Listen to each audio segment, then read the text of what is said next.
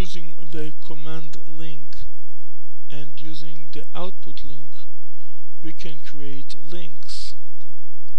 This code sample shows like that. We can even use the command link in order to get a submit link or a reset link. You can also use the command link for creating a simple link that functions like a simple button using the output link we can even link to an external website meaning that when the user press it he will be taken to the other website without going through the Java Server Faces cycle